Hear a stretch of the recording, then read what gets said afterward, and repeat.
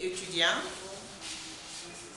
préoccupés par les congés obligatoires imposés aux enfants depuis le 1er février 2017, déplorons la privation du droit à l'éducation de nos enfants, la lenteur dans la prise de décision pour la résorption de la crise, les actes de vandalisme dans les établissements scolaires et universitaires publics et privés, et le retard dans la progression des programmes scolaires entraînant les effets négatifs sur les résultats de fin d'année.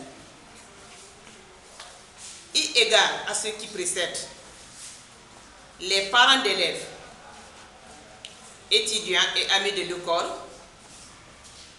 interpellent le gouvernement et toutes les parties prenantes impliquées dans la résolution de cette crise de privilégier l'intérêt national pour sauvegarder l'école guinéenne dans les 48 heures qui suivent.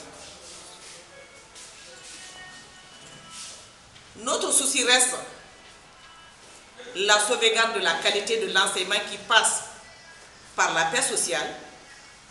Nous restons convaincus que tout le peuple de Guinée partage ce souci.